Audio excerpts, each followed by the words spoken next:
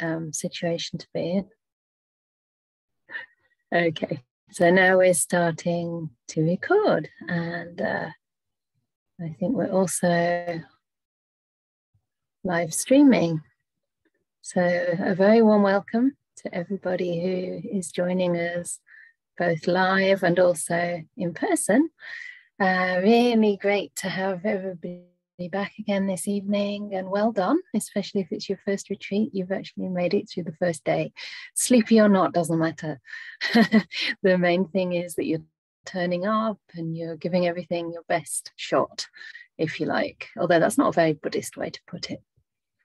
So, in the evening talks that I'm going to be doing, there'll only be short reflections, although I know that I sometimes underestimate how much I have to say.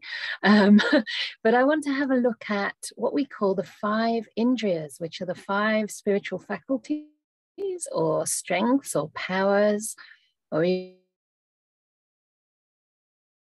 even friends of the mind meditation. Courage of zest of energy, um, of wisdom and of skill in meditation. and uh, these five faculties, I don't know if any of you are familiar with them, are confidence, otherwise sometimes translated as faith or trust. I actually like to translate that one as inspired confidence because we need a little bit of inspiration, first of all, to actually take the first steps on the path. So it's more than just feeling confident, it's actually having that inspiration to take it further. And then the second one is um, energy, because obviously, if we feel confident and inspired, then we want to put forth some energy. and energy includes a kind of dedication, a kind of commitment, and also some sacrifice, you know, actually giving something of yourself rather than just seeking to gain. And then the third one is mindfulness, the big kind of uh, teaching these days in secular circles and often emphasize more than any other aspect of the path, even in Buddhist circles. Um, but I really like to think of that more as kindfulness because it does include uh, right intention, the intentions of loving kindness, of compassion, and also of letting go, making peace with reality, not trying to fight. Be nicely translated today as stillness and uh, last week, when we did a Q&A session with the Venerable Jetsunma Tenzin Palmo, uh, she was asked about that. She was asked how she would translate it. And she said that actually she'd probably leave it in the Pali because that way we're less likely to get kind of swayed by various people's interpretations and more likely to ask ourselves what it really is. How does it really feel? How would we define it? And it's something that grows gradually in the practice and you get a taste for as the mind settles down. So and then the last one of these five indriyas or sp- spiritual faculties is wisdom. Yeah, because this is really what the path is aiming at. It's not only about feeling peaceful, feeling blissful, having a sense of freedom and relaxation, but it's actually freedom from the defilements, freedom from greed, hate, and delusion. So, wisdom is something that actually changes our life, changes our behavior of body and speech, and has benefits for ourselves and others, lasting benefits. Yeah. So that wisdom, of course, comes imbued with all the others, and they all reinforce themselves. But because we have six days and there's only five indriyas, I thought that I'd start this evening to talk about the beautiful, wonderful quality of virtue which I don't know if it gets a bad rap in the West or in maybe heavily religious countries too, because uh, sometimes it can seem more like a moralistic code, but the Buddha didn't talk about sila or virtue in that way. He talked about it as a quality that's really the foundation for the whole practice, for the whole Eightfold Path. And the stronger that foundation, the stronger the building of wisdom, peace, stillness, and all the other wonderful, maybe even psychic powers can be. We're not aiming for those things, but what we are aiming to do is to put the causes in place. And one of those causes, of course, is virtue. So, with virtue, we're actually starting to purify the conduct of our body and speech. And if we want to purify our mind, we have to start with the coarser aspects of life, first of all we can't just go straight to the mind if our bodily and verbal conduct is really out of whack. You know, because the first thing you'll notice when you sit to meditate is that you have lots and lots of regrets and remorse, and your mind is just going in circles, thinking, What do I do to repair this situation or to repair the harm that I've caused, or perhaps the harm that someone else has caused to you? So we develop this sila, this virtue, as a foundation. And sila or virtue is really um, goodness, humanity, kindness, compassion, that quality that seeks not to harm oneself or harm others. And virtue is really the true beauty of a person, the true beauty of the heart. So you can see when you're around virtuous people that they shine, they have a certain glow, they have a, a gentleness, a sense of non harm, and you feel safe around such people. You know that you can trust them, you know that they'll stay true to their word one really beautiful um, thing that I enjoy about being on tour with Ajahn Brahm when he does come to England, and hopefully he will come, he's planning to come again next year, is that he's always totally punctual. We actually have little um, games around it because, we say, okay, let's meet at, uh, I don't know, whatever time for the, you know, to travel to the evening talk. And uh, I'm like, I'm sure you'll be there right on time. He's like, okay, I'll be there at 7.25 and 36 seconds. I'm like, okay, I'll see if I can get there. and usually both of us are always earlier than we say. And that's a sense of reliability isn't it? You know you make a promise you say you'll be there on time and then you actually endeavor to be there on time and not to keep people waiting. And it's so great you know because it gives us a lot of time it makes everything relaxed and harmonious. And i know that i can trust that if he says he'll do something he will so this is part of giving beings freedom from fear freedom from enmity and affliction yeah and that's uh, what's described in the Anguttara 8, for those who are into the suttas. In Anguttara 8, number 29, the Buddha says that by basically abstaining from the destruction of life, from taking what is not given, from sexual misconduct, from false speech, and from taking intoxicants, one gives to an immeasurable number of beings freedom from fear, enmity, and affliction and they themselves in turn enjoy an immeasurable freedom from fear, enmity, and affliction. So it's not that we're only giving others a gift, we're giving ourselves a very beautiful gift as well. And hopefully, in the meditation that we'll do shortly, we will have a look at how we can bring our beautiful, virtuous conduct and the goodness of our lives up in our mind when we practice to empower, energize, and give us confidence in our meditation. So we incline our mind in beautiful ways. There's also a basic principle that's very aligned to what Ajahn was talking about earlier um, about right endeavor or right effort, the effort to abandon unwholesome states and cultivate the wholesome. And this is also a principle of understanding what is virtue and what is not. So this is from the Sevitabba Sevitabba Sutta, which means um, to be cultivated and not to be cultivated. And that's in the Majjhima Nikaya.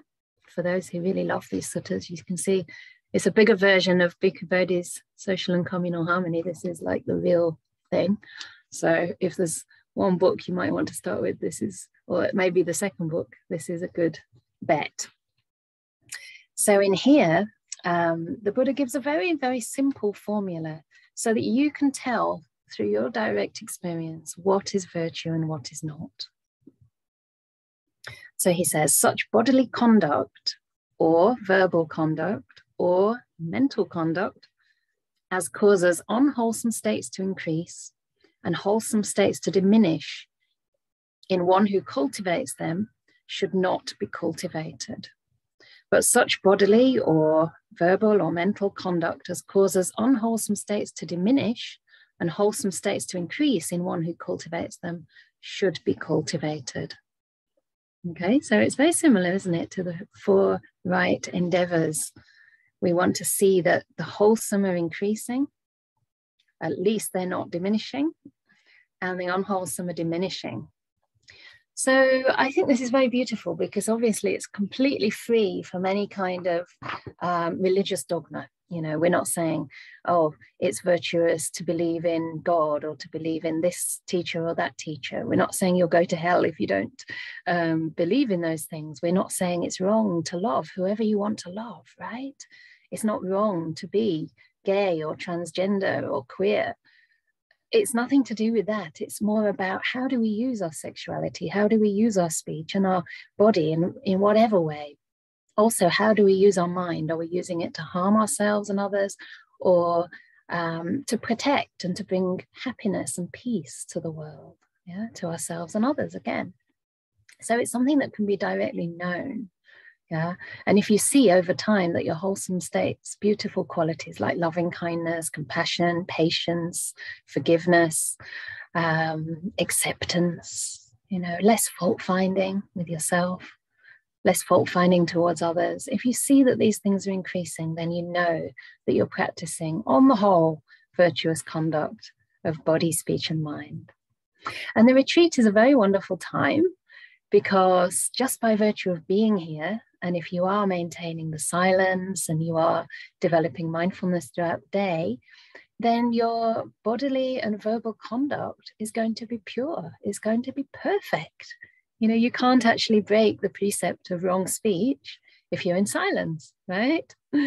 So you've got two thirds of the path.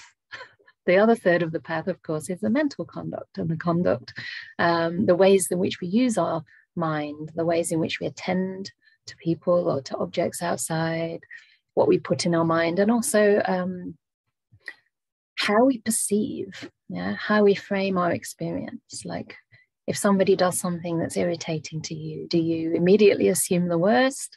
Or can you frame it in a different way? Perhaps they're having a hard time. Um, perhaps, you know, they're not well or they're just tired and they didn't really mean what they said. Perhaps you interpreted it wrongly. Yeah.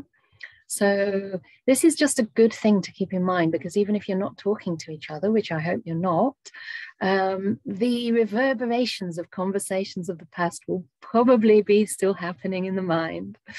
And we can choose, we have a choice at that time to think in positive ways or to frame things more negatively. And sometimes it might seem like, yeah, but we shouldn't be like having this kind of toxic positivity um, that's just kind of naive or that opens us up to maybe abuse or being taken advantage of. And that's true, you know, especially in actual day to day life. But while you're meditating, whatever thoughts and perceptions are arising are things of the past or projections into the future. And so there is actually not really much reality to those at all. You know, our thoughts and our memories can't really be trusted the future definitely can't be trusted because it hasn't happened. And the only way you can experience the future is when it becomes the present. So, depending on the way your mind works, you'll meet that future with a wholesome, positive, um, generous mind, or you'll meet that future with fault finding and discontent. Mm? So, the point is, we can't really trust our thoughts. So, why not choose ways of thinking that uplift the mind? And this is where practices such as loving kindness come in, and practices, as we'll do shortly, around our own goodness, our own virtue, which sounds quite um, against the grain, I think, for many of us who've been conditioned to see our faults. But it's just a way of using the mind to bring some uplift and joy. And as Ajahn said earlier, in answer to the question about, um, there was a question that said, "What? How does courage oh no, how do we generate the courage to let go? How do we develop that courage? And Ajahn hinted at happiness being the main reason. And that happiness stems from virtue. Yeah. I think the, I'm not sure if it's the first time in the gradual training, I think it actually is, um, that the Buddha refers to happiness is all to do with virtue. So he talks about maintaining wholesome acts of body, speech, and mind, and also performing wholesome uh, conduct, not only abstaining from unwholesome. And he says that if we do that, it leads to what he calls a blameless bliss. Yeah, you can already imagine what that might mean not to have remorse, not to have regret, not to feel tormented by the things that have happened in your life or the think the ways that you behave and to go to bed feeling guilty and you know being really restless in the night. So and and it's also not just the absence of those things it's actually a sense of integrity a sense of feeling that you're living a life aligned to your highest values aligned to the goodness in your heart you know and focusing on that goodness not letting it slip by because we can easily say, oh, it's nothing, you know, anyone would do that. I actually, um, today I realized that uh, actually yesterday, um, the people who I'm staying in their house, they're not here at the moment, but they've lent me a room and this big attic space to teach from. And they'd left all this really dirty washing in the washing machine, like it had been there for probably a long time, at least a week by the time uh, they put it on and uh, it was quite stinky and not very nice. And um, and then finally they put it on a couple of days ago, and uh, I wanted to use the machine, so I sent them a text and said, "Oh, do you want to come and pick up your washing?" You know, kind of feeling like it's not my job to hang it out, right? Especially because officially, according to the Vinaya, actually monastics aren't supposed to do errands for lay people, particularly. Although I don't think that one's you know necessarily condemned um, but then yesterday I kind of realized that's quite stingy and it quite a nice thing to just hang it out for them, you know, rather than it staying in the washing machine and getting all smelly again. So myself and the other lady staying here hung it all out to dry. And then today, because I had time and the other lady was at work, I thought, okay, I'm going to fold it all up nicely, put it on the radiators. Then when it's dry, fold it up and put it out for them so they feel like it's all taken care of.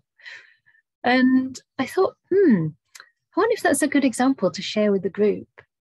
And then I thought, it's a bit strange, isn't it? Giving an example about myself. And then I remembered this lovely passage in the Visuddhimagga that said, The deed is, but no doer of the deed is there. and then it continues, Nibbana is, but not the person who enters it. And I thought that really relates to this practice of reflecting on one's own virtue. It's not that you're developing a big ego around it, you're actually just noticing, you're wisely reflecting on cause and effect. You're saying, okay, this wholesome action has this and this result. And another um, principle that the Buddha says is that it should have pleasurable consequences, pleasurable results for oneself and for others. And so when I realized that, I thought, yeah, that has given some happiness and some pleasure to me because I enjoy having time for little chores. Most of the time, I'm on the computer running a project and not having enough time for meditation. But today, I could go more slowly and I could, you know, really take care of my environment. I also looked after some beautiful orchids that are in the bathroom. I'm starting to feel like green fingers for orchids now. I think they're just such beautiful plants. And uh, and yeah you know it has pleasant results for me and it'll definitely have pleasant results for them when they see it all nicely folded up. So you know that's a, an example of where we could just kind of moan and whinge ah, i want to do my washing. I've got to take all this dirty stuff out first. Or we can just go the extra mile. Yeah. So i wanted to i'm aware that time's running but i wanted to just read out one of the most beautiful places in the suttas that talks about the positive aspects of virtue and I know that many of you have probably heard this several times before, but that doesn't matter unless you're perfect already, in which case you probably wouldn't be here.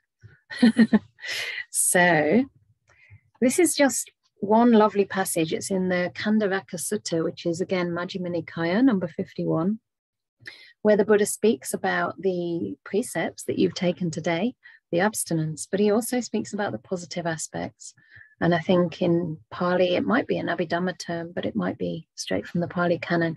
It's called um, var, varita, which means like abstinence, and charita, sila. So there's these two aspects one to do and one not to do.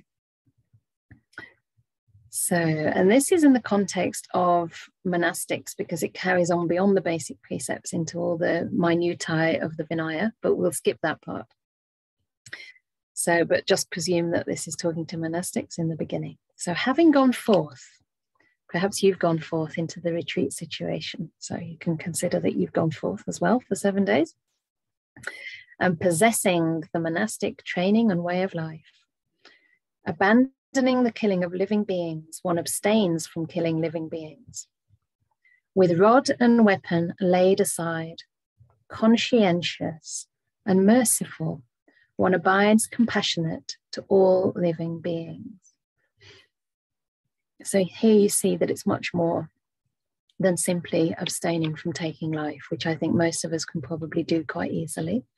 But it's actually kind of noticing if there's a snail in the road, and you know, it's likely that a bicycle or a car will come past and thinking, okay, I'll just move it out of the way, you know. Or even an animal that you might feel afraid of, like a spider. I actually love them, but a spider did bite me actually this rains retreat. And it took about a month for the bite to disappear. But anyway i still like them. I had about eight really big spiders in the room that i was sleeping in. Really quite big. And uh, yeah one time one got in the bath and i removed it because you know it doesn't take much for these little delicate creatures to get harmed so then the next one abandoning the taking of what is not given one abstains from the taking what is not of what is not given taking only what is given expecting only what is given. By not stealing, one abides in purity. So you can see that that is quite a humble state of mind, not expecting anything other than what you have right in front of you, right? So that starts to undermine that sense of greed and grasping and craving to get more. Then abandoning in celibacy, one observes celibacy. And hopefully you're all doing that on this retreat because you're not supposed to speak. So I think, and, or have any contact with each other actually. So hopefully you're all actually on at least six precepts. Uh, and then living apart, abstaining from the vulgar practice of sexual intercourse. So, this is not really supposed to be a judgment, but it is talking about the refinement of the mind. And so, in terms of that, and in terms of the higher training, obviously, for monastics especially, we do try to um, have a relationship towards sexuality which is reciprocal and which is respectful and which engenders um, genuine intimacy and love, genuine trust. So basically, we're reliable again, right? And we keep our commitments to each other. So then the one on speech is very beautiful, and I'll just read it straight out. Abandoning false speech, one abstains from false speech. One speaks truth, adheres to truth, is trustworthy and reliable, one who is no deceiver of the world. Abandoning malicious speech, one abstains from malic- malicious speech. One does not repeat elsewhere what they've heard here in order to divide those people from these. Nor do they repeat to these people what they've heard elsewhere in order to divide these people from those. Thus, one is one who reunites those who are divided, a promoter of friendships, who enjoys concord, rejoices in concord, delights in concord, and a speaker of words that promote concord. Isn't that lovely? Mm, that's so beautiful, especially in these times when there's so much us and them. Abandoning harsh speech, one abstains from harsh speech. One speaks such words that are gentle, pleasing to the ear, and lovable, as go to the heart, are courteous, desired by many, and agreeable to many. So, again, the power of speech. Abandoning gossip, one abstains from gossip. One speaks at the right time, speaks what is fact, speaks on what is good, speaks on the Dhamma and the discipline. And at the right time, one speaks words that are worth recording, reasonable, moderate, and beneficial. So, in this particular sutta, it doesn't talk about abstaining from alcohol, possibly because this person's already gone forth. I'm not quite sure why it's not there. but I think the positive aspect of abstaining from alcohol is really around developing clarity, developing um, clear perception and clear mindfulness, a brightness, a lucidity of mind. Yeah. And it's really crazy, but uh, I told Ajahn Brahm this morning, I tell him everything because that's one thing that we do do if we um, do anything anything good or anything a bit strange um, is that we had some tea the other evening. And tea is tea, right? It's not uh, breaking the precepts in any way, but this was a very, um, I don't know, expensive for sure, kind of white tea from very old trees in China.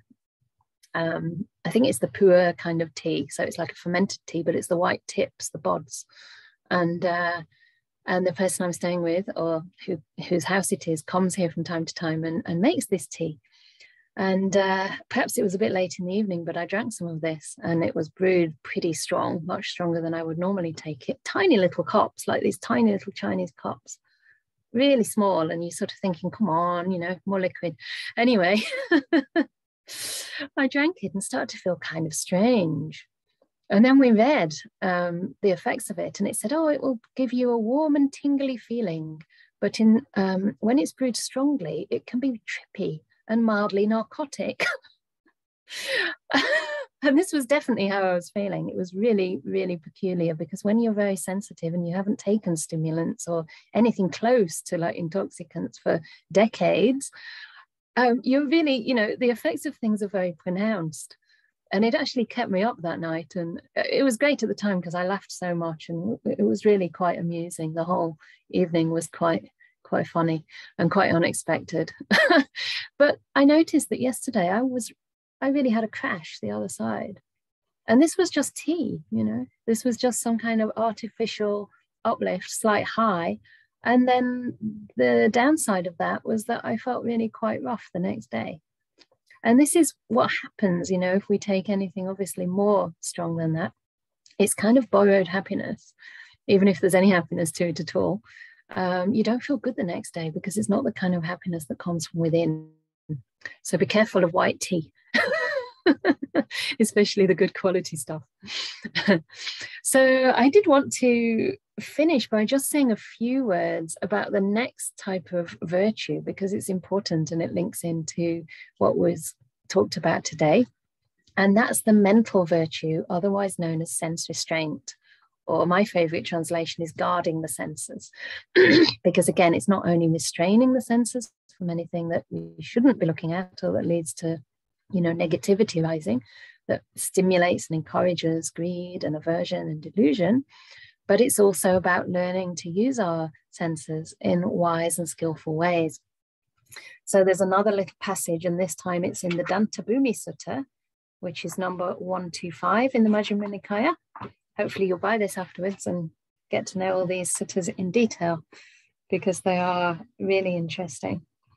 And here, this happens after already having pretty good bodily and verbal conduct. So then we're going one step further and looking at the way the mind works. So the Buddha says one guards the door of the sense faculties. And then he describes how. So, on seeing a form with the eye, do not grasp at its signs and features. Since if you were to leave the eye faculty unguarded, bad, unwholesome states of covetousness and grief might invade you. Practice the way of restraint, guard the eye faculty, and undertake restraint of the eye faculty. Then, on hearing a sound with the ear, um, on hearing a sound with the ear, do not grasp at its signs and features, since if you were to leave the ear faculty unguarded, bad, unwholesome states of covetousness and grief might invade you. Practice the way of restraint. Guard the ear faculty. Undertake the restraint of the ear faculty. And the same little formula carries on for the nose, for the tongue, for the body, and also cognizing mind objects. So we don't leave these things unguarded because covetousness and grief might invade us if we do. And covetousness and grief, it's I think it's just a translation of the first two hindrances, which is craving and aversion. So this is slightly old-fashioned language, but um, again, we're just protecting our mind. And uh, I think it's really obvious with things like hearing. I know for myself, I used to be very much into my rock music, especially as a teen. And uh, now we don't listen to music as monastics, but I can really see that, you know, what that it's a kind of channeling of an emotion. And sometimes that might be healthy because it helps to contain that emotion in a song which has a limited life and it has a sort of beginning and an end. But other times, you know, if you listen to really depressing kind of music, it, it just cultivates emotions in us that aren't very helpful and that weren't even there before because we resonate, right, with whatever emotion is being um, stimulated in us. So we can be careful around these things. And of course, later we can, and also on retreat, we can rein in the senses further. For example, you know, not looking at your mobile phones or scrolling through Facebook or, you know, depressing articles or excess news about the corona pandemic. Hopefully, you're all pretty safe and contained for this time. So you don't really need to know. Because I think one of the problems of uh, the society nowadays is we're just so bombarded with sense data. Um, it really can lead to sort of an, a sense of overwhelm. And I know for myself, as someone very sensitive to these things, including tea, um, I really need a lot of time to just rest my eyes, rest my ears, silence, and you know, time in meditation to balance all that out. So, starting to notice how it feels to rein in the senses and to ground ourselves more and more in the body. Yeah. So, we're not just pulled out into the world of sights, sounds, smells, taste, touch, but we actually start to come inward and feel the body sitting and ground some of those emotions that we might feel in the body you know, because every emotion has a corresponding physical sensation somewhere in the body. And instead of being pulled by the kind of impulses and our cravings and our desires, we can just learn to stay, we can learn to rest with those feelings in the body. You know, there may be a slight restlessness, which is based on craving, for example. There may be a kind of boredom, which is partly associated with aversion, with not finding the beauty and the joy in the moment and actually look at it, stay with it, experience what you're feeling right now. And notice, you know, when the mind starts to spin off into thoughts about that emotion or about that sensation that you don't enjoy, and see how those thoughts can just consolidate it further and bring more suffering when we use our thoughts unwisely. I found a nice little quote, and I don't think this is from any Dhamma book, but all the same, I thought there was some wisdom here. It basically says that thoughts are like drops of water. When we think the same thoughts over and over, we have a little puddle. And then we get a pond. And finally, we create an ocean. If our thoughts are negative, we can drown in a sea of negativity. If our thoughts are positive, we can float on an ocean of love, wisdom, compassion, and peace so we can learn to see what our minds are doing yeah and come back again and again to the experience of the present moment that is real that's something direct and that's something you can experience and for this a basic grounding in the body meditation is really really helpful. So, as we continue to practice in this way, we gain more confidence, and that confidence in turn encourages us to keep practicing the Sila. We keep practicing virtue, we find that our lives are getting happier, we're, um, you know, maybe having more friends, we feel like we're on the right path, and then our confidence increases.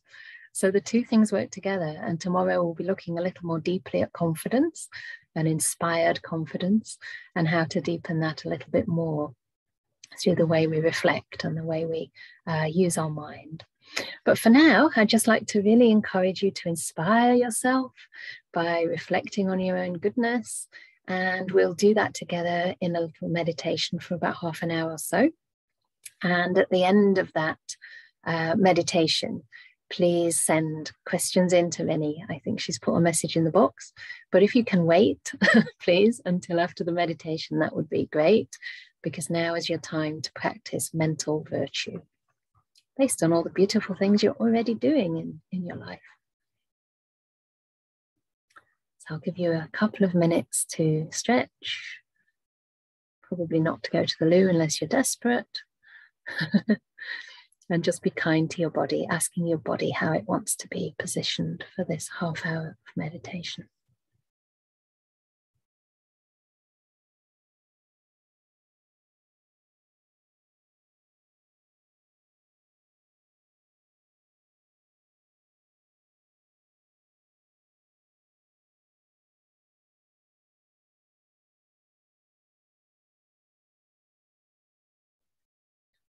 I should probably have shared something really inspiring that I did instead of drinking too much white tea. but this is what I'm like. I'm so open, you know. Uh, definitely, I'm not going to be hiding anything from anyone because whatever I do, it's just out there. So sometimes I think that's not a bad thing. What you see is what you get. So.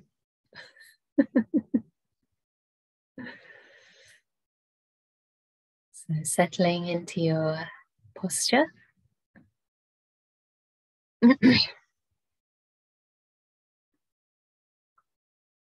and when you're ready, withdrawing, withdrawing the sense of sight.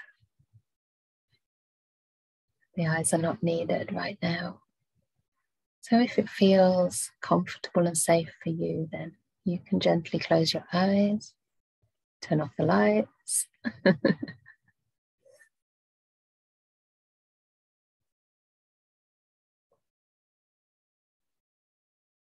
and allow at least the sense impressions of the eye to fade.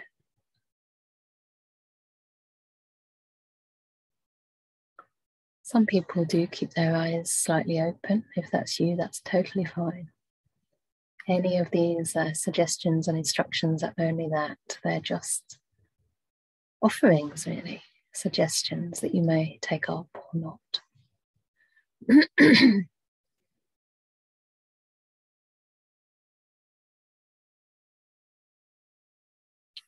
And with our eyes closed, we can just gently come in contact with our bodies,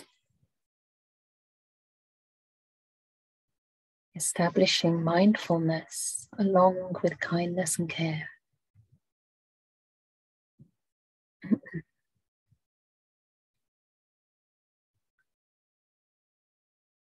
and you know that it's kindness if you have the intention to simply befriend whatever you experience in an accepting and non judgmental way.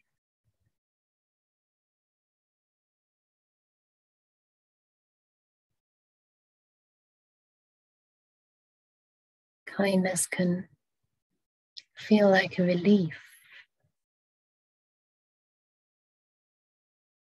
most of our life we're pushing ourselves around, pushing our bodies around, demanding that our bodies serve us in so many different ways. But now the mind is in service of the body. Now it's time to simply be kind. And ask your body how it feels. Allowing this mindful, kind awareness, what Ajahn Brahm calls kindfulness, to soak through the body. Starting, if you wish, at the tips of the toes or at the top of the head, doesn't really matter but just imagining this kind kindfulness. Like the light and warmth of the sun, just soaking you through, soaking through the skin.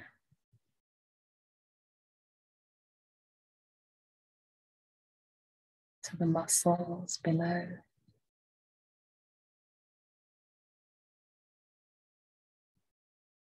Right inside.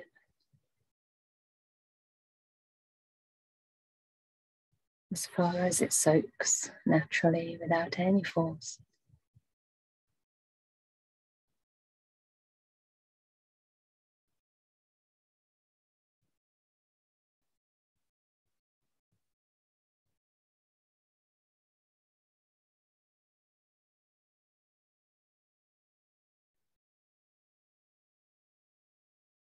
And just like the warmth and light of the sun, wherever this kindfulness flows, it relaxes, soothes, and calms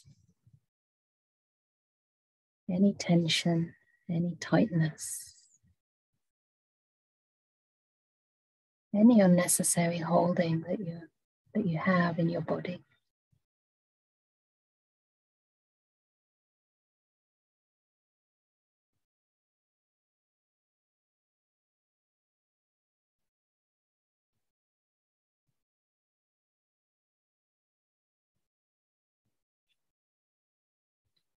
Sometimes we hold that tension in our brow or in our jaw. See if you can imagine your brow just spreading outward. Allow your jaw just to part and maybe even drop a little bit. Checking that the tongue's not pressing.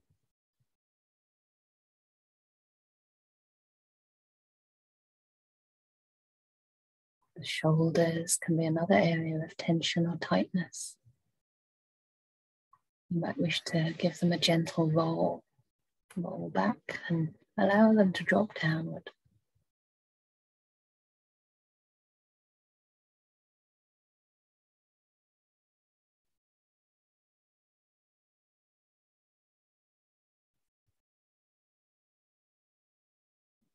Checking that nothing is pressing on your buttocks. That the weight is evenly distributed.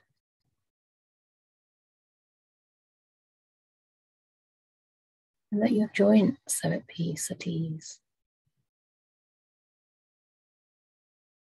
Sometimes we cross our legs a little too tightly. So the knees feel strained or the ankles are pressing against the shins. Maybe your toes are squashed. See if you can give them a little bit more space.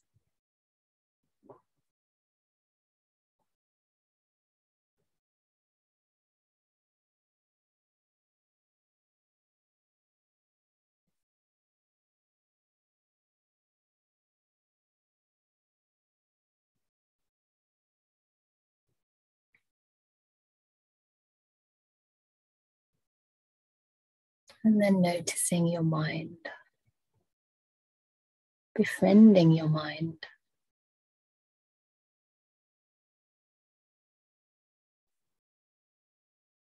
As though meeting your inner world with a smile.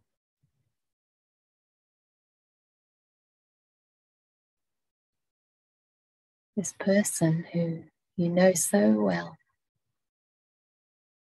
You know your own qualities, you know some of your faults. And too often, we're much more focused on our faults and exaggerate them out of all proportion.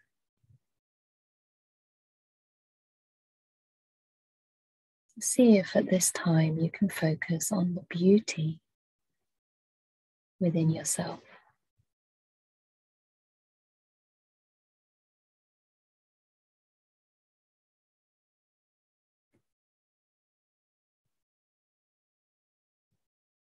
At the very least, developing a sense of gratitude for this beautiful gift of retreat time that you've offered to yourself.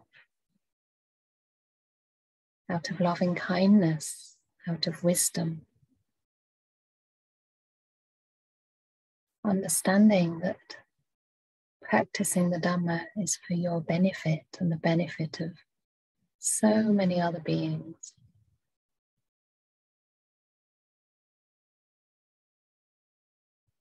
Well done. Tap into a sense of gratitude. Inner gratitude for this beautiful, generous offering that you've made to yourself.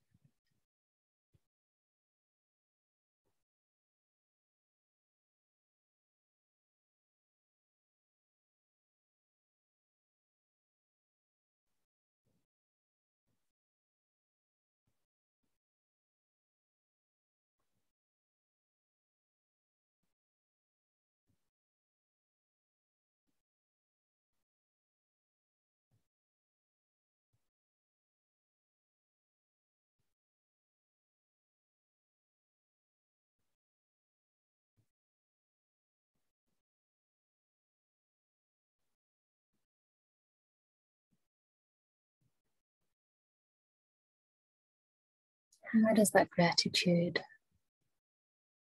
feel in your heart?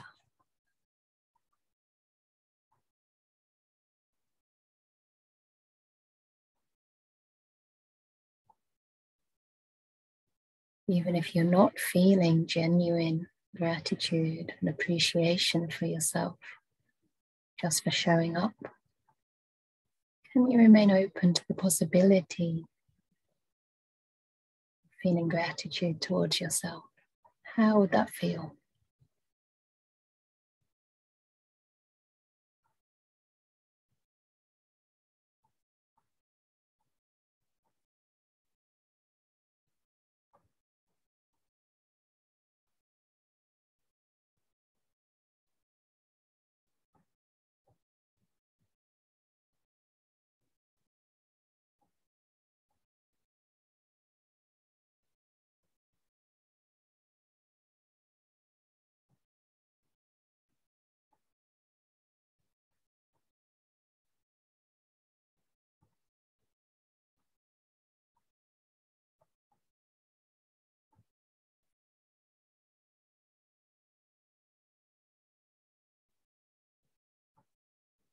Perhaps something else comes to mind as we reflect in this way. Perhaps a little service that you've offered to someone that maybe didn't seem like much at the time, but nevertheless made someone else's life a little easier.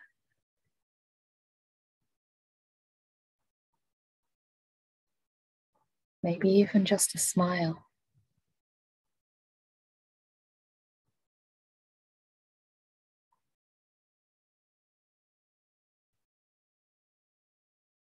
Maybe you have a pet or a sick girlfriend you're taking care of.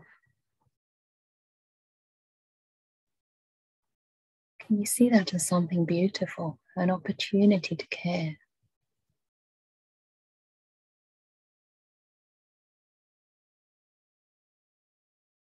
To increase this foundation of beautiful, pure virtue, selfless service to another human being or animal, or even a plant.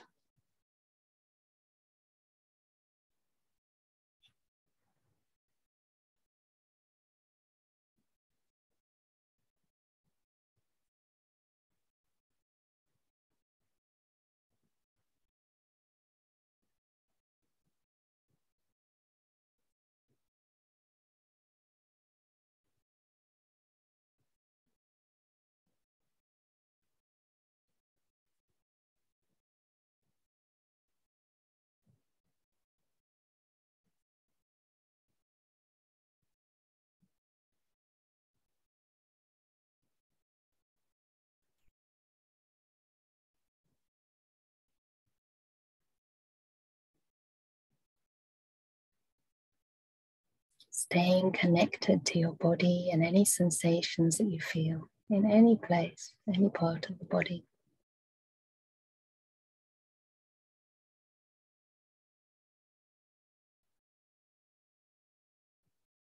Noticing if these reflections bring a sense of peace, a sense of happiness, well being, or ease however subtle that might be.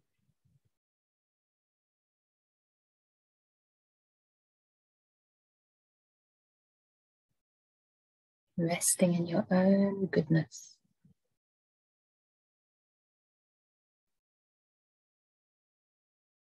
Confident that you're on the right path.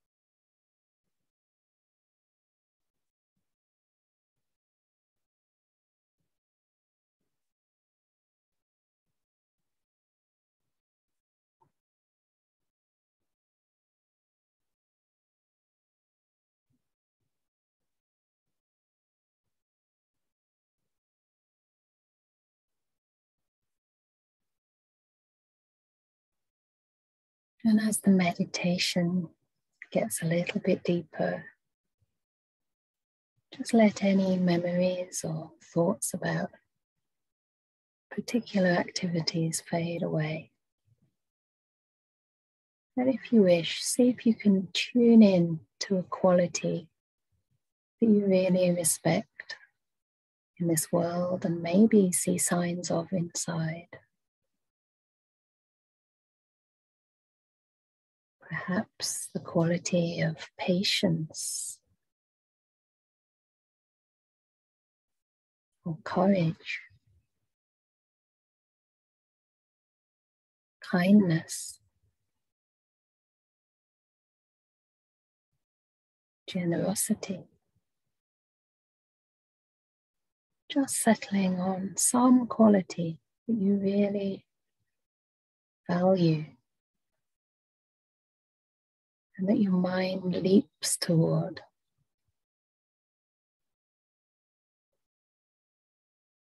Recognizing that quality within yourself.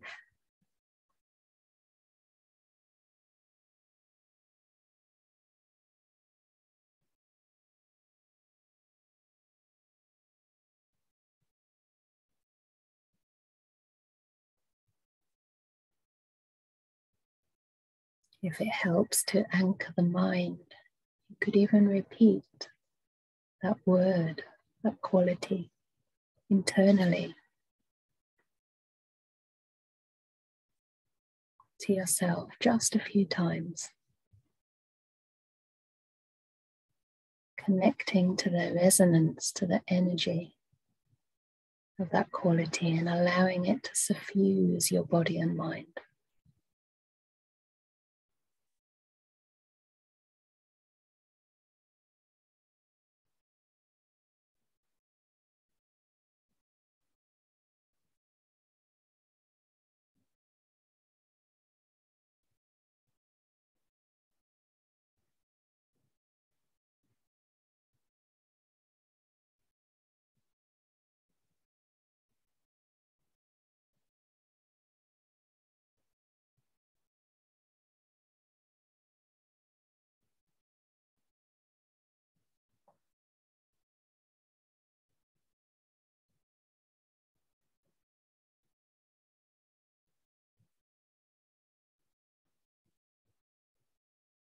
Perhaps even allowing it to flow to the rhythm of the breath. If that feels natural and pleasant to you.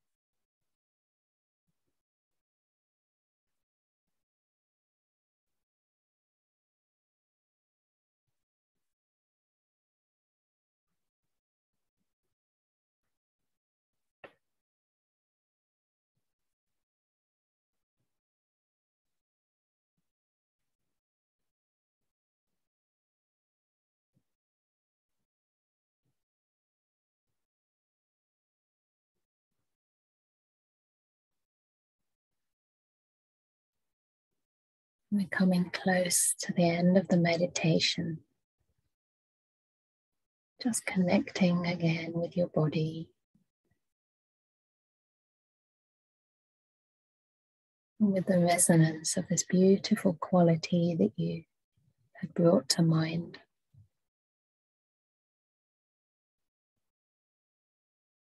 Imagine now that beautiful quality pouring out of your heart into your hands and offering the patience or the kindness, the generosity, whatever was your special quality, offering it out into the world.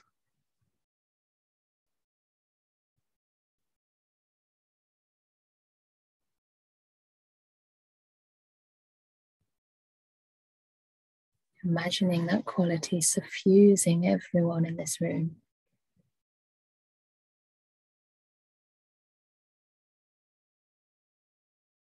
Bringing them freedom from fear. Bringing them courage, happiness, and peace.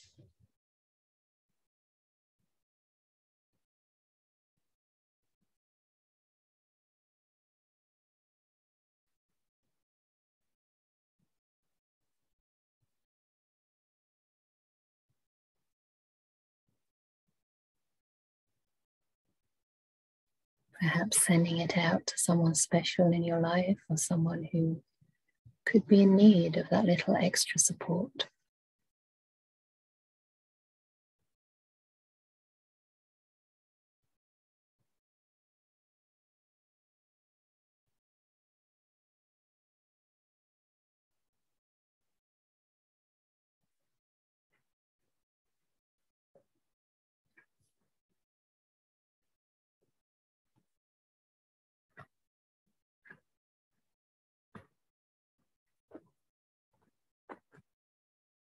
Just allowing those perceptions to fade, coming back in contact with your body,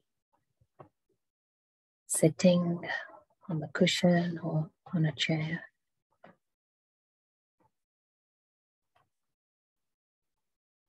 And checking how you feel now.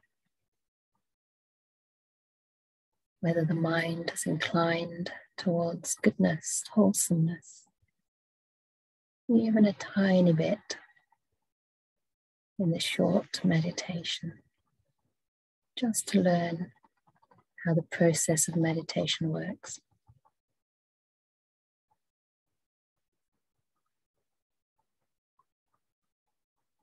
And if you find that your mind is agitated or fed up, ask yourself why. Just to learn the cause and the effect for various mind states to arise.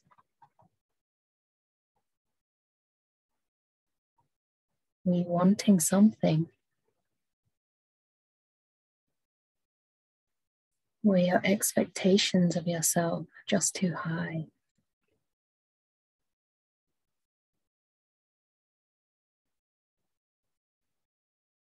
Can you commit to the practice of contentment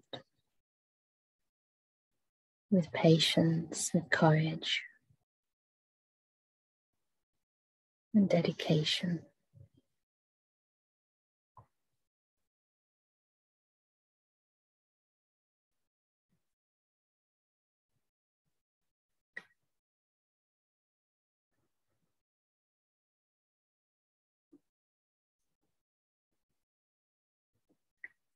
So I think I have a gigantic bell, but it's a bit far for me to reach. I'll perhaps play the bell tomorrow. you don't have to open your eyes, but if you want, I'll ring a human bell. If you prefer to carry on, please do. Gong.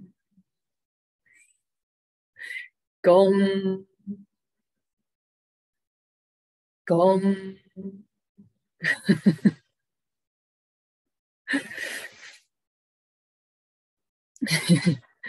and even if you have your eyes open, don't throw away any peace or quiet that you've developed too soon.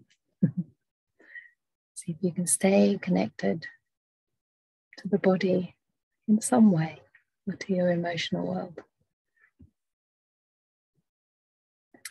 So now is the time for any questions, comments, or hopefully not complaints. so I think Rennie will be the collector. So if you can please write your questions, comments, or questions or comments. please do. And if you could keep them a little bit concise ideally related to your meditation practice and to this retreat, at least for the first days. And I'm sure that we can get deeper into the Buddha's teachings as we proceed.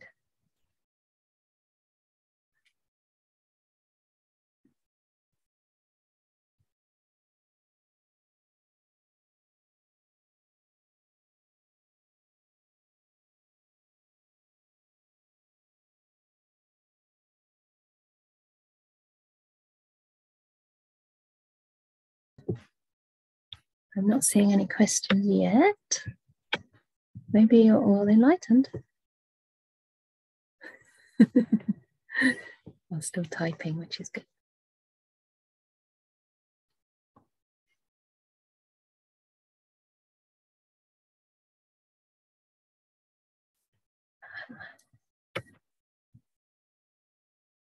Okay, I got six in one here. This is great.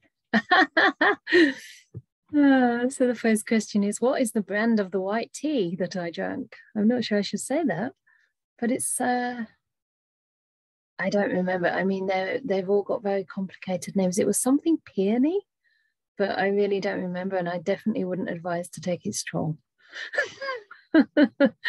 These are from. Um, I think they're more or less directly from the suppliers in China, and these were was it a cherry tree? I forget. It could no, no, no. It's a tea, isn't it? It's not cherry tree. It's a tea tree. um, but it was about one or two hundred year old trees. Anyway. so someone's asking, should we read the Word of the Buddha book during the retreat? um, my sense of reading and studying during retreat is that a little bit can be helpful to inspire your practice. And it can take a little bit of skill to know how much is enough just to inspire and when does it go into distraction and um, spending a lot of time on the theory more than you can chew. So I, it's interesting because my practice pretty much started with straight out meditation with not so much theory other than what I was learning from the teachers and within that context of retreat. And um, and so I think for me, the teaching and the practice kind of developed together. And I think that was good for my particular character. Like I needed to know what the benefits were of the practice before I was really interested to dig deeper to the theory. But I do know some people who are very keen to get a very clear intellectual understanding first, and that seems to motivate them to practice. I would imagine that if you're here on retreat, you're already motivated to practice. So it might not be so important to read the whole book. You have the book, so you can read it any other time. I would probably say that it might be enough to have the classes once a day with Ajahn Brahm because I think when there's a teacher to help unpack some of the nuances and some of the um, relevance of those teachings in direct application to meditation, that can be the best of all.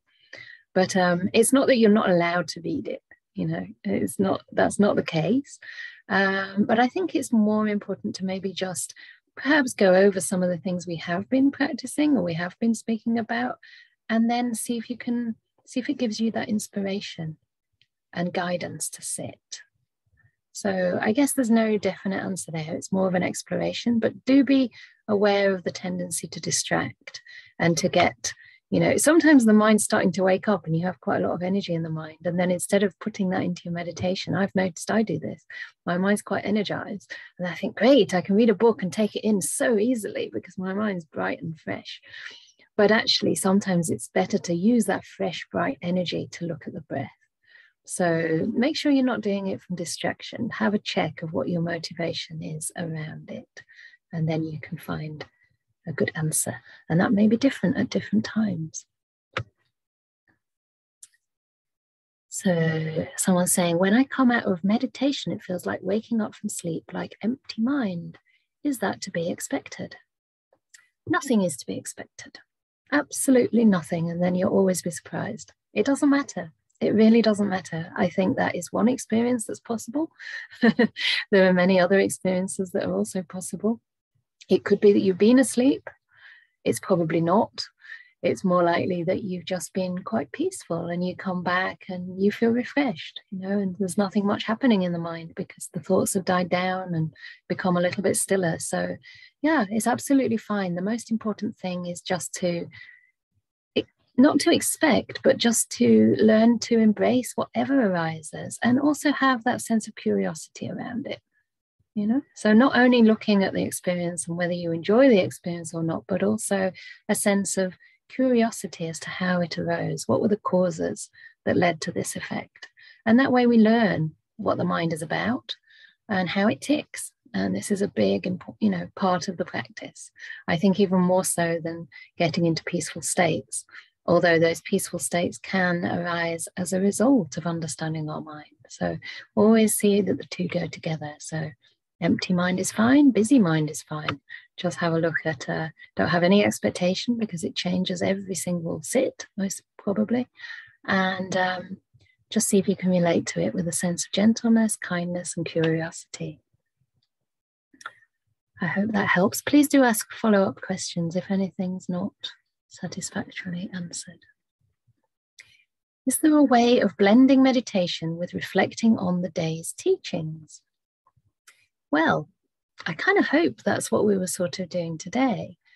Um, and that was just one example, really, of how to use thought or use reflection, um, invoke certain moods, certain wholesome qualities um, that do energize the mind and that do um, cultivate the wholesome states. So that was one example, and I kind of make it up each time. Um, generally speaking, I think it, for me, it can be really helpful to start the mind off by inclining it in a wholesome direction. So I tend to use either um, Caganusati, which is what we just did, reflecting on our own generosity, our own goodness, or Silanusati is very closely related. It means reflecting on our virtue. Um, we could also use Buddha Dhamma or Sanghanusati, reflecting on the qualities of the Buddha, the Dhamma, the Sangha. And as Ajahn Brahm very beautifully um, reflected to us today that when he thinks about the the Buddha, he thinks about the quality of what is it, wisdom. And when he thinks about the Dhamma, I mean, it doesn't matter which order, he basically pays respects to wisdom, peace, and compassion, yeah, or virtue, peace, and compassion. So these are qualities in the Buddha Dhamma and the Sangha. So what the essence of those things really are to you. Um, the general, you know, inclination of practice, the general um, leaning and what do you say like um, the way that we need to incline our practice is towards the wholesome states. So it doesn't really matter how that comes about. Um, it can for some people just come about by simply connecting with their body and becoming more present in the present moment. For other people maybe by allowing the breath to come in and just going with that you know almost like surfing the breath. So yeah, I mean, I think you can develop your own methods and your own tools. And, you know, there's never one thing that works for everybody and that works for one person all the time. So be experimental, be creative. Um, don't get too much into the intellect around it. But the most important thing, is, I would say, is to blend the teachings of the second factor of the Noble Path with whatever we do. And that they are the teachings on right intention, the right relationship to our, our practice. So the second factor of the path is sometimes translated as right thought. I think right intention, right um, motivation, right relationship is uh, quite a good translation. And they are the attitudes or intentions of um, making peace, letting go. Yeah, that's one. Making peace with a situation, letting go of wanting it to be any other way than it is. Um, otherwise known as renunciation, renouncing our desires, renouncing our ill will. Um, loving kindness, avyapada, which means non ill will. So the intention to actually embrace what's arising in your body and mind rather than to change it or get rid of it or make yourself or your practice something other than it is. Yeah. Because sometimes we come to retreats wanting to um, deepen our meditation or maybe even wanting to improve ourselves.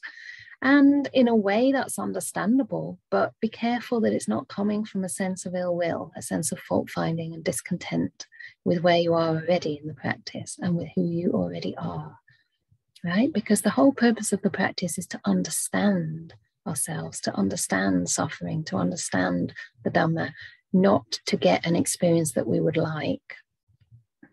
And then the third one is non cruelty, which can also be translated as um, compassion or even gentleness, patience. So, are we relating to our meditation with gentleness and patience? Are we allowing it to unfold? Or are we trying to really grasp on to what's arising? You know, I must stay with the breath at any cost. That's not really being gentle. So we learn to treat even our meditation objects like friends. You know, so your breath, you can even imagine the breath like this very small little bird, you know, that's all fluffy, maybe a bird that's fallen out of its nest. And you picking up this bird and holding it really gently in your hands. You know, you need to hold it tight enough to keep it there, just a very, very gentle touch, right? So that it feels protected, so that it feels cared for, but not so tightly that you squash that bird and break its wings or harm its feathers. So, in a similar way, we can relate to the breath with kindness, with gentleness, without trying to make it any different than it is. Just give it that protective, kind awareness um, from the mind. And the same with anything that arises. Even somebody asked earlier about anger and about giving anger some space. And I think, you know, even with that, I mean, giving it space might not be the best way to do it necessarily, but still we can be kind. We can sort of say, oh, anger, you've arisen. What is it that you need? You know, what is it that this anger needs right now? Or this person who's feeling the pain of that anger? Like, what is it that you actually need? Do you need to make the anger go away? Or do you need to listen to that anger and to find out where it's coming from, to find out if perhaps there's some pain or some hurt, and then respond with compassion. Because if you are experiencing so called unwholesome states, in other words, states of mind that cause you to suffer, then you are in need of your own compassion, right? So rather than fighting with reality, fighting with our minds, we can actually learn to relate to them in quite radical ways, ways that are aligned with the Dhamma, yeah. And by making peace with these things, gradually they lose their power over us. They lose their force. They lose their um, their impact in the mind. We're just able to watch, just as though clouds are passing by. You know, we're just able to watch with interest and say, "Oh, look at what's arising now. How can I relate to that?" And that's where the real cultivation lies. So I think that was quite um, not a very direct answer, perhaps, to your um, question, but hopefully um, over time you'll see how all these teachings tie in together anyway. And I would say just make sure you're, uh, as far as you can, learn to relate wisely to whatever arises and reflect. Yeah, sure, reflect in wholesome ways. Okay.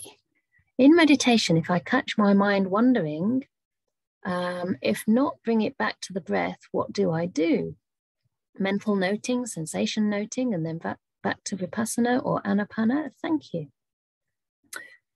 So again, it's an experiment. There's no one answer. If there was one answer, then nobody's mind would wander. I'd be able to give you the answer, and everyone would put that answer into practice, and no one would have any wandering anymore. But that's not the way it goes. Usually, the mind is wandering because the mind has been very busy before and um, you know we're, we're doing something we're not used to doing. We're trying to keep the mind in one place. And the mind doesn't want to be kept in one place. Its nature is actually to wander about. So personally for me if i catch it wandering i just accept that it's wandering. The fact that i know it's wandering at that time is already a sign that i'm aware. So it's not actually a problem. And if you do see that that's happening, you'll probably find your mind naturally um, becomes aware of its original object again. So if you were with the breath, it will probably come back to the breath. A, a more likely um, situation would be that you'll come back to the body because the breath is a very subtle thing. And I think it's better with breath meditation not to force the mind on the breath when it's not quiet enough to stay with the breath, because that's when you can develop quite a, um, a fraught relationship with breath meditation. You know, when we're sort of immediately sitting down, some teachers teach you to go straight to the breath.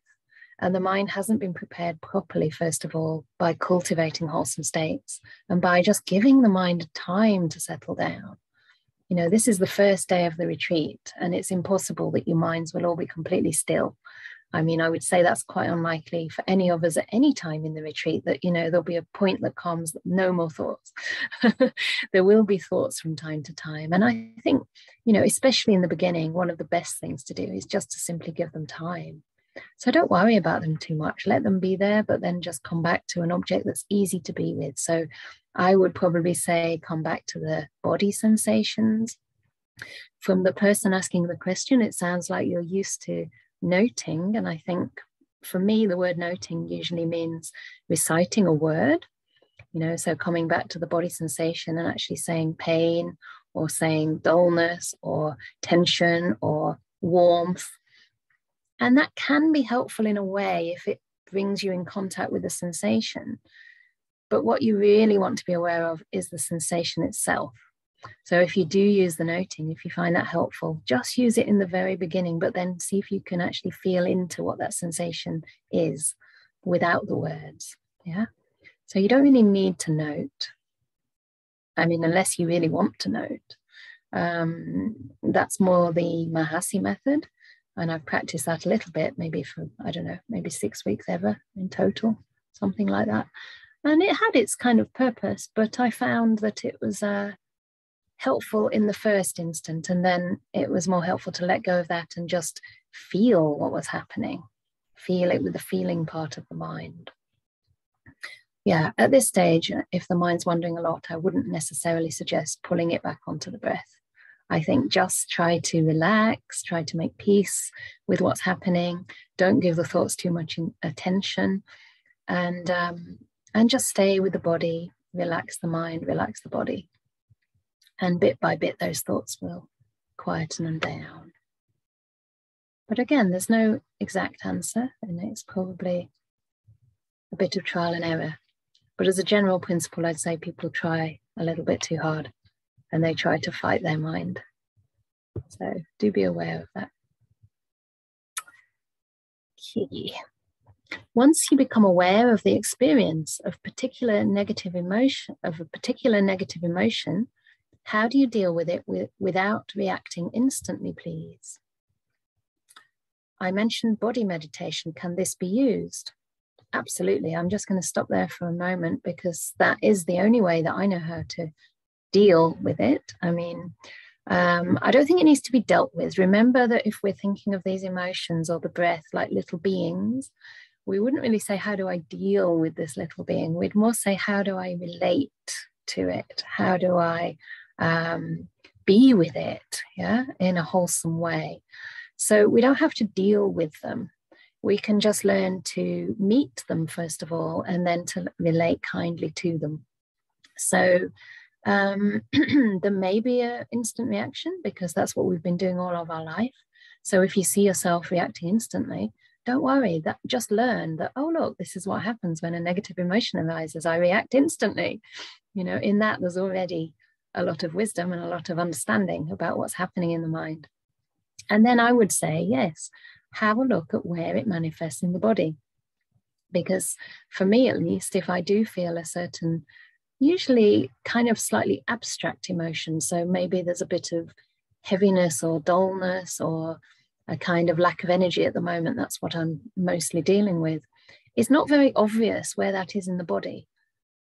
But if I go to the area, generally with emotions, they tend to arise in the trunk. So between the stomach and the heart, somewhere here, because this is where the nervous system is, this is where Um, we tend to hold emotions, not always, but I think, you know, with anxiety, for example, the stomach is often a place. Um, with sadness, it's often in the heart area. So, what you could do is just very gently sort of say, Oh, okay, you know, you've identified that emotion, and then just consciously have a look to see if there's any particular part of the body in which you feel that emotion. Or maybe there's a place that's not very obvious, and just stay with it a little bit. So, as long as you're staying with the body, you're not spinning out on anything because body awareness is mindfulness, right? You're rooting your mind in the present moment. The body sensations can only ever be in the present moment. So, at least at that time, you're not spinning out, right? And with practice of body sweeping and really being, you know, mindful of the body sensations in the meditation and throughout the day, then you do start to notice when emotions arise quite quickly before you react. You start to feel something happening in the body, like heat might come up, or the kind of the heart might start racing. And if you're sharp and if you practice this a lot, you can catch it before it spills over into unwholesome acts of body and speech. So, the second part of the question once you identify the emotion, it doesn't pass away immediately. yes, but it's changing all the time. So, it's not that the emotion was ever solid. Mm. It's not that, oh, there's the anger and it's this kind of solid entity that one minute is there and the next minute it's gone. What's more important than waiting for it to pass away is to see its nature as it's there so to actually notice that in what you think of as anger, there's heat, there's pulsing, there's tension, there's, I don't know, maybe the heart is beating fast. Maybe you're even sweating if you're really furious, and I'm sure you're not. I can't, I don't think you're a particularly angry person, but it's just an example. Um, so you actually stay with those sensations. You're not looking for the end of the emotion, you're looking at how it's manifesting right now and once you start to see that it's changing all the time, that understanding of anicca, of impermanence, develops. And it seems, it starts to seem pointless to react. Like, how can you react to something that's already changed? You know, when you wanted to react, that was maybe when it sort of reached a peak, but now it's kind of dissipating a little bit. So it makes no sense. And after a while, if you continue to use that perception of impermanence in your meditation, you feel everything just kind of falling away, arising and passing without really much permanence at all. So the equanimity can develop quite strongly. And um, and even in the middle of an emotion, you're quite steady. The mind is quite steady and doesn't react. So, yeah, once you identify the emotion, it doesn't pass away immediately. Good, because then it gives you chance to explore it. So it feels like the emotion lingers on for a while and there's suffering. Yes, it's true. And suffering is to be understood. You see? So we can't go beyond suffering before we've met suffering. Right? So there is suffering, and this is the first noble truth. You know, the Buddha wanted us to have a look at that suffering, to turn toward that suffering and stay with it long enough for insight to arise. So if we want to push these things away too soon, we're still resisting that suffering. We're still not really seeing it clearly. And that's what keeps it going on. It's when we can bring that awareness to suffering and we can actually meet it and see, oh, look how I'm burning myself. That's when wisdom arises that can actually get at the root of the problem. Because the suffering is not really the problem. Of course, it is in the sense we want to, ideally, for those who've understood suffering to a certain degree, we want to end rebirth completely and get out of suffering completely. But as long as you're alive, you will suffer. There will be suffering involved. Even pleasant experiences have suffering innately embedded within them you know even i mean when i was practicing a lot of vipassana practice sometimes i would feel a lot of piti and even as i was experiencing it i could feel it as an agitation in the mind. It was an agitation on the stillness. It was more pleasant to feel still and to feel a sense of equanimity than it was to feel joy. So all of it is suffering. And that suffering is not a problem it's the way we react to it. It's the way we try to push it away and reject it and always looking for something better something different than what's right in front of us. That is the problem. And that's the bit we can change. We can't really change the suffering as long as we're in this human form or in any form at all. Wow there's more than two new messages because there's many in each message. So oops it's nine o'clock. Oh my goodness Okay, so I thought there were two more messages, but actually there were many messages in one. So I probably won't get to everybody today. So, or I'll just give very brief responses now. So please forgive me if we run out of time. Okay. Mm, I would like to ask about self kindness. I've some trouble with unhealthy food. I think I'm addicted to sugar and would like to treat myself more kindly. How could I better connect to myself and my body's needs? Good. So you've realized that you're addicted to sugar, you've realized that it's unhealthy, and you already have self compassion because you want to connect better to yourself and to your body's needs. So, this is the first step, and this is great. And you've identified this sugar addiction. So, I think the best thing would probably to be set yourself small goals, not big goals. So, I mean, unless you're really strong minded and you can just say no more sugar at all, um, it might be better to just start to limit, just start to cut down a little bit and give yourself a lot of encouragement whenever you succeed. If you don't succeed, don't worry, just ignore that one. But every time you do succeed, make a note of it, write it down, and encourage yourself. And connecting to yourself and your body's needs better is through meditation. So you're in the right place. And especially if you do start to experience joy and peace in meditation, even just a sense of, I don't know, okayness, it doesn't have to be anything special, then you'll be less uh, willing to sacrifice that by engaging in unwholesome um, patterns of eating. Yeah, it's like we just start to feel a little uh, more circumspect about the way we live our lives. So I'm going quite quickly. Many years ago, I said to somebody that all aversion was rooted in aversion to oneself. Oh, really? Yeah, I never remember what I've said. I've thought about it and it seems to be so. Would you agree? Hmm, I haven't thought about it since I've said it. so many years ago, I said that all aversion was rooted in aversion to oneself. Aha, probably what I meant is that it usually stems from unpleasant feelings. Like it usually aversion is around aversion to a feeling. You know, it's not really about the objects outside. It looks as though it's around the objects outside or the things that happen to us, but really it's about the way those things make us feel. And in that sense, it's rooted within ourselves. I think that's probably true that it is all rooted in ourselves. It's just that we're using the word ourself makes it sound like it's our fault or that it's a personal thing. But the main way that I would express it now is probably that it's all in the mind. Like aversion arises from the mind, it arises from delusion, basically, but it arises within ourselves. Yes, it's an internal experience, and as such, it can be rooted out internally. We don't need to change the world to be free from greed, hatred, and delusion. We need to change our mind. So, in that sense, I think that is the case. But I shall reflect further because I have not remembered that I said that. It's very sweet that you remembered, though. it's an old Dhamma friend. We've had many conversations about practice. How can you deal with people trying to argue with you over things like eating meat? Oh, over things like eating meat is wrong and it's part of panatipata precept, or lying is okay if you lie for a good purpose.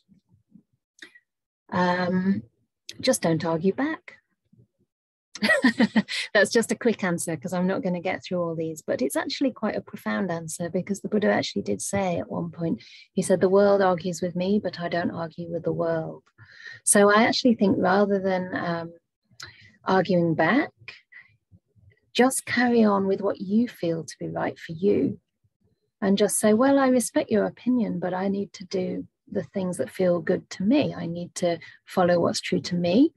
And um, you know, I'll see if that if I'll see if that's right or I'll see if I'm wrong later on. But what tends to happen if you stick to your principles and your values is that people think, wow, okay, she's still doing that. And she's still, you know, acting in a virtuous way and she's still not willing to like tell a white lie.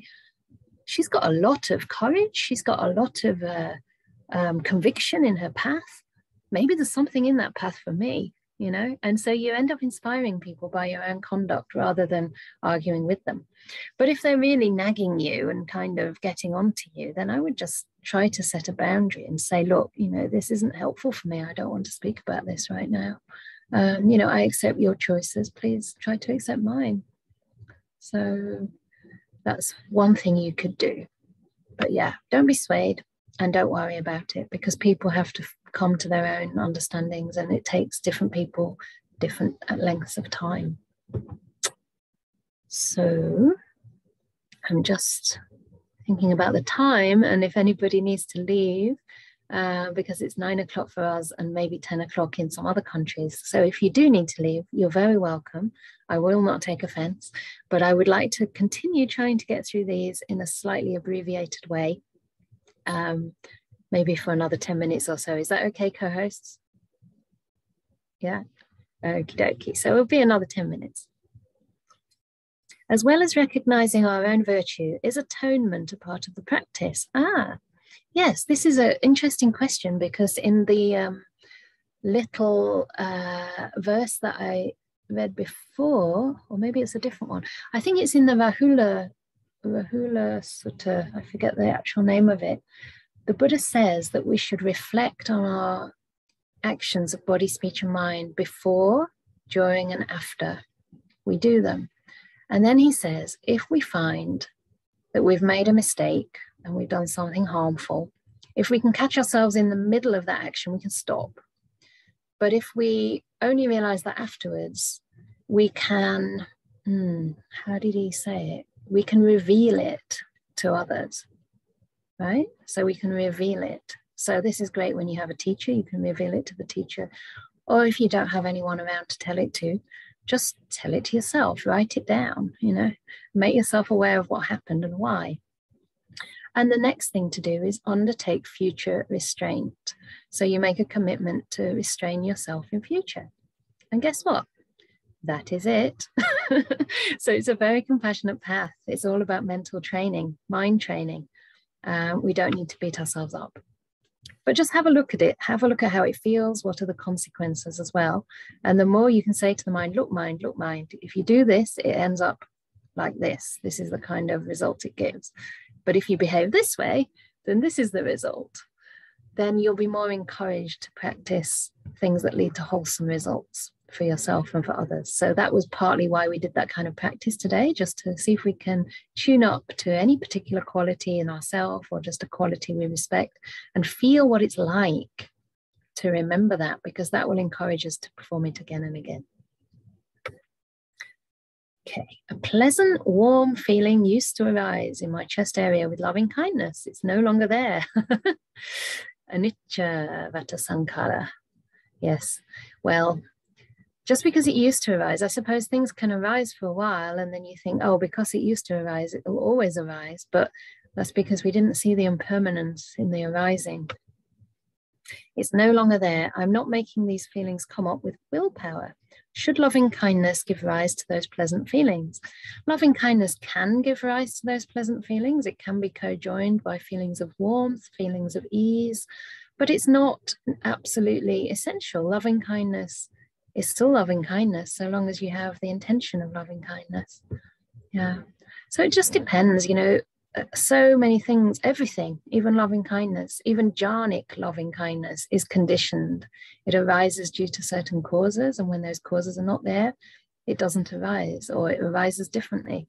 So we can't really understand why or how these things happen, but um, the causes are very nuanced and very complex. So it could be all kinds of things. It could be that you're tired of these days. It could be that I don't know, maybe there's more emphasis on the words of loving kindness. Um, maybe there's less energy in the mind. Whatever it is, it doesn't really matter. The main thing is to just keep on inclining the mind in that direction and trust in the power of those intentions to incline the mind in wholesome ways because it will. You can't go wrong. You know, even if it's only thoughts of loving kindness, the Buddha says in the, I think, Vitakkasanthana Sutta, or no, it's the Dvedhavitakka Sutta number 19 in the Majjhima Nikaya. He says that um, it's not possible when you have thoughts of loving kindness it's not possible for thoughts of ill will to arise so at that moment you should be very happy because at that moment you've overcome and stopped unwholesome thoughts coming into the mind so don't worry about the rest of it it will come back at some point too and when it comes back try not to cling try to just treat it like a very beautiful little bird who's just come in to see you and you can fly out at any time so just with respect. But it's good that you've had that and it's good that you continue to practice. It's all good. Don't worry at all. Okay, there's another quite big question about explaining how to use right effort in everyday life and in meditation. So I can't explain it in detail now, but it's basically just to define right effort as um, whether it leads to wholesome states increasing or um, and unwholesome ones diminishing.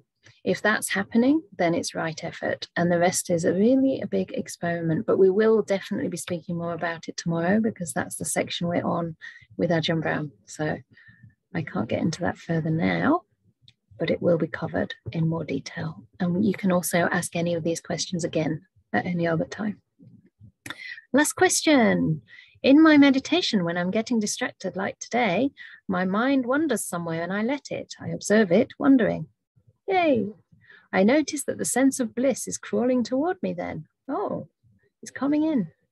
But when I notice it and come back to focus on my breath, which should make this bliss bigger and bigger, it vanishes. so it's the should that is the problem here because why should it actually? It's only because you think it should that it's a problem that it vanishes. Anyway, which should make this bliss bigger and bigger, it vanishes like a scared animal. Why and how to work with it?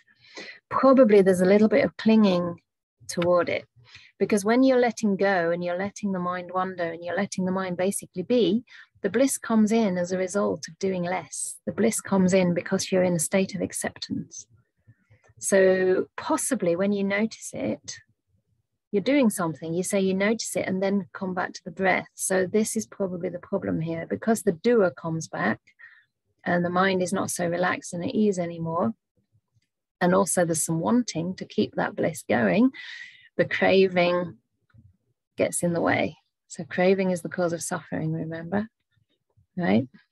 In the second noble truth, craving is the cause of suffering. So as long as this um, you know, doing something is also caused by the craving.